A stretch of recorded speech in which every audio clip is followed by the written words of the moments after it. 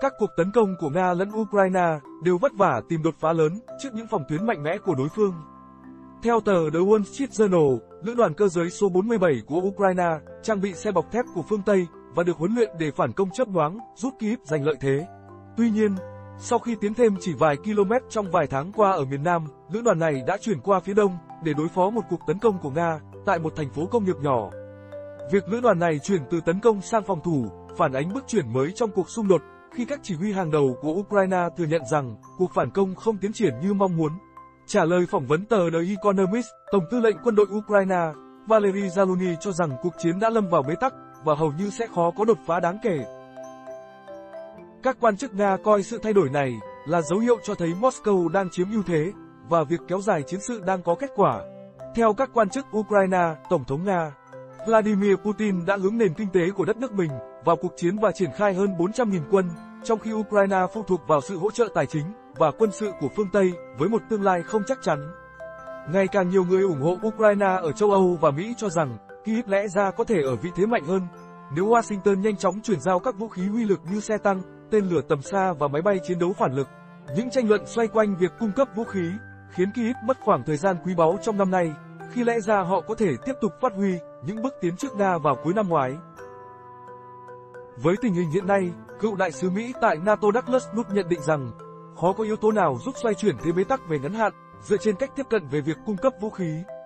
Tuy nhiên, giới chức Mỹ khẳng định đang cung cấp vũ khí cho Ukraine với tiến độ thích hợp và dựa trên những gì có thể cung cấp.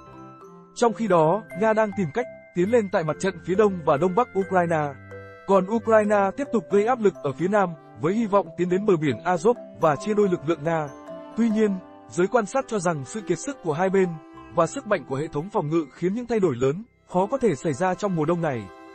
Đó là một sự bế tắc trong chiến hào. Một cuộc tổng tấn công là không thể cho cả hai bên. Không bên nào có thể vượt qua được, theo một quan chức an ninh cấp cao Ukraine. Hiện Nga đang tập trung vào các thị trấn như Kupian ở phía đông bắc và Avdiivka ở phía đông. Theo quân đội Ukraine, cuộc tấn công vào Avdiivka, một trung tâm công nghiệp nhỏ gần thủ phủ, vùng bị chiếm đóng của Donetsk, đã khiến quân Nga thiệt hại hơn 100 xe bọc thép và hàng nghìn người thương vong trong tháng qua. Lực lượng Nga đã đạt được những thành tựu nhỏ trong nỗ lực bao vây thành phố, bao gồm cả việc chiếm giữ tuyến đường sắt ở vùng ven phía Tây Bắc. Phía Ukraine cũng đang xoay sở.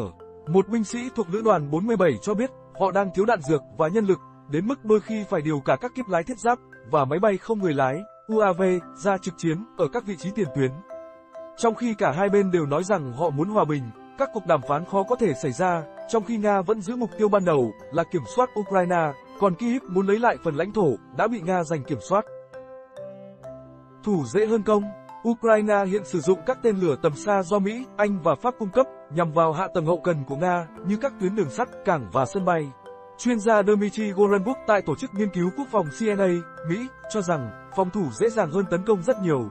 Cách tiếp cận này có thể khiến Ukraine mất kiểm soát một số khu vực lãnh thổ nhỏ, khiến nhiều người có thể nghĩ ra nước này rút lui, nhưng là cách an toàn để tái xây dựng lực lượng và nguồn cung ứng. Việc Ukraine phòng thủ có thể không lý tưởng, nhưng với chiến lược quân sự trong một cuộc chiến kéo dài, việc buộc phía Nga sử dụng nguồn lực, tái bổ sung và sau đó quay lại tấn công sau đó có thể hợp lý, ông nhận định. Theo thanh niên, cảm ơn các bạn đã xem bản tin.